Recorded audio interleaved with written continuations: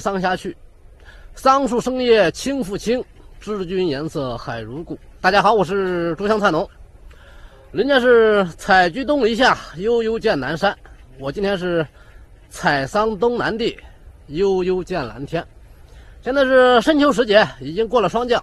今天啊，给大家介绍一种我们农村的宝贝——桑树。可能大家现在懵了啊，不知道桑树为什么是宝贝。听我给大家慢慢道来啊，这是两棵桑树，并且还不是普通的桑树，这是两棵浙桑。这是一棵普通的桑树，本来青青的树叶啊，经过霜降的洗礼，苍色斑斑，更显得是沧桑厚重。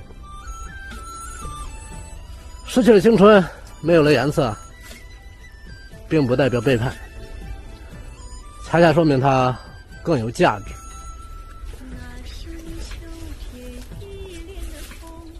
用一句比较时髦的话说吧：“洗尽铅华，方显英雄本色。”霜打后的桑叶更有价值，摘两片，泡杯茶，润润你的秋燥。童年最真的梦，你是我。桑树啊，整株都能入药，如桑叶、桑枝、桑皮。桑叶自古就有拿来做茶的习惯。这桑叶做茶，必须要经过霜打。古人是这样认为的：桑叶是春生、夏长、入秋，经过霜打以后啊，才能得秋金之气。这个时候啊，它才更具价值，更完美。在这个秋燥的季节里，摘两片，泡一杯清茶，喝下去啊，暖暖的，很滋润。现在这个季节啊，是深秋渐冬，